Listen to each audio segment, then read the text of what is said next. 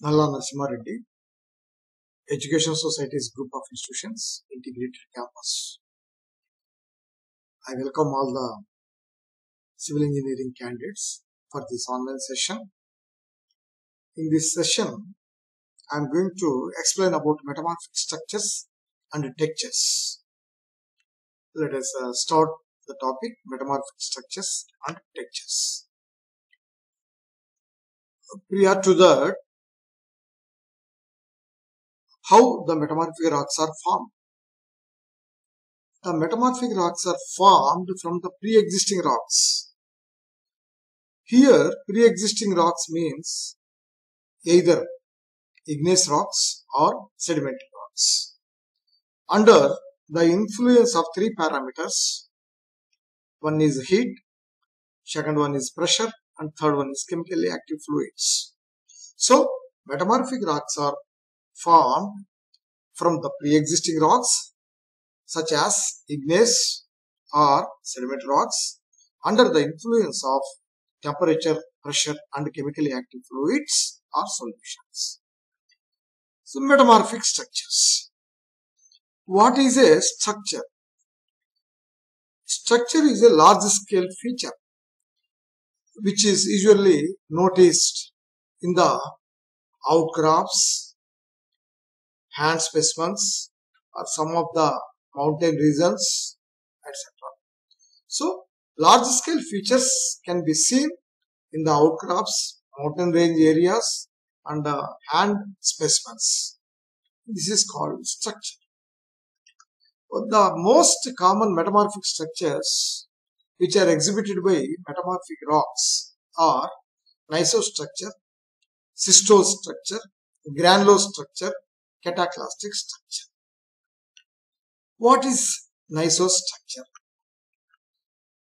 The minerals, equidimensional minerals such as quartz, feldspars, pyroxenes, calcite, as well as prismatic or flaky, flaky minerals, namely tourmaline, quartz, beryl, hornblende, agate, dapsite, topaz, if they occur in the rock in alternating bands. In such a case, we say the rock is exhibiting gneiss structure. See the hand specimen here, very clearly there are alternate bands, white, grey, white, grey, white, grey, so white band, grey band, white band, grey band. And even the same bands can be seen here in the hand specimens. So, appearance of alternate bands is always characterized by the metamorphic rock is gneiss or granitic gneiss. In this, both equidimensional minerals as well as prismatic minerals occur in a considerable proportions. Schistose structure. Flaky minerals are platy minerals. Muscovite biotite chlorite are called as flaky minerals or even platy minerals and some other inequidimensional which has no shape. They show a preferred orientation along parallel to the planes. So, in such a case, we say the rock is exhibiting schistose structure. That means flaky minerals and the inequidimensional minerals, they orient along parallel to the planes. We can see the grain size very clearly and mica schist, chlorite schist, hornblende schist, kyanite schist are best examples for schistose structure. Granulose structure, equidimensional minerals. That means all the minerals are more or less equal in size. Example, quartz, feldspar, calcite, pyroxenes. If they are present in the metamorphic rock, we say the rock is exhibiting granulose structure.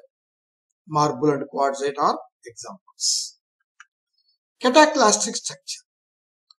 In some of the regions, the metamorphic rocks, I mean, undergo severe uh, metamorphism and uh, are associated with uh, folds and faults. So, in these rocks, when they are associated with folds and faults, we can find the grains which are in a bent position or broken position or fractured position. The field photograph very clearly shows the rotated, bent, broken, fractured minerals in a rock and we say the rock is exhibiting cataclastic structure. Mylonite is the best example for cataclastic structure. Coming to textures. Texture is a term that describes the size of the mineral, shape of the mineral, orientation of the mineral grain, and how they are constitute a rock and their relationship with uh, other grains. That is called texture. So texture is a small scale feature which can be seen or studied best under a petrological microscope with the help of a thin section.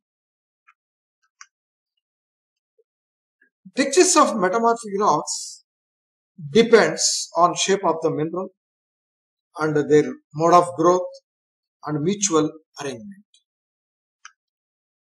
The textures of metamorphic rocks fall into two varieties, two groups. One is foliated rocks and the other one is non-foliated rocks. Foliation is produced by the metamorphic rocks if the mineral grains are having a parallel alignment. For example, platy minerals or flaky minerals, muscovite, biotite, chlorite, and needle-like minerals, acicular, tabular minerals, feldspar, topaz, if they are arranged parallelly. In such a case, we can say the rock is exhibiting foliation texture. A foliated uh, texture can be seen in metamorphic rocks such as slate, phyllite, schist, gneiss. Whereas non-foliated rocks are quartzite, marble, hornfels. That means there will be no parallel alignment of the minerals which are present. Prismatic minerals shown very clearly. Actinolite, quartz crystals, beryl, tourmaline. Apart from all these, we can also see the prismatic minerals in different uh, slides, tumulite, apatite, etc. Flaky minerals, it's a chlorite, it's a muscovite, it's a biotite, even talc is also belongs to flaky mineral. Acicular minerals, that means which, which minerals are characterized by needle-like structure. Actinolite, we can see clearly the needles how they are projected. Uh, it's very clearly seen in millerite mineral how the needles are projected. And this is rutile. So all these ca called as acicular minerals or needle-like minerals. So foliation means a set of repetitive layers visible as a result of the flattening and stretching of mineral grains during the time of metamorphism.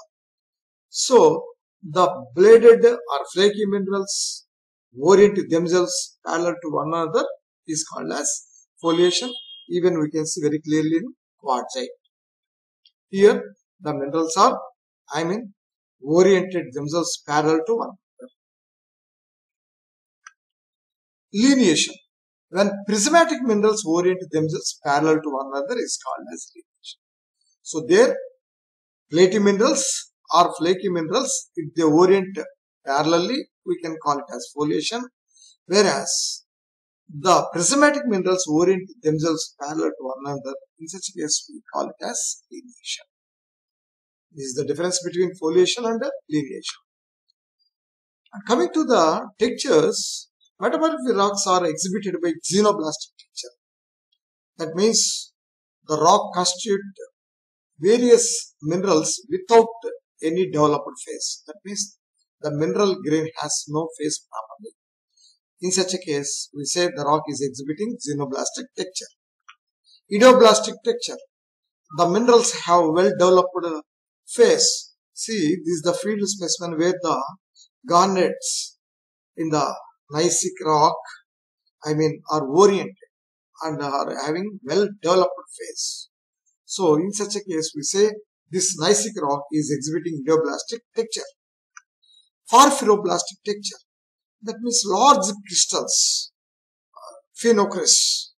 These minerals embedded in the fine grained matrix. That means fine grained matrix consists of so many minerals in which the large crystals or phenocrysts are embedded so that the rock is exhibiting porphyroblastic texture. Granoblastic texture. Mineral granules are equidimensional. In the photograph, we can see the minerals are almost equidimensional in size, shape. So we say that uh, the rock is exhibiting granoblastic texture. Uh, ophitoblastic texture. Small crystals which are embedded in a phenocryst. That means small crystals can be seen within the big crystal. So in such a case we say that rock is exhibiting ophitoblastic texture. Thank you.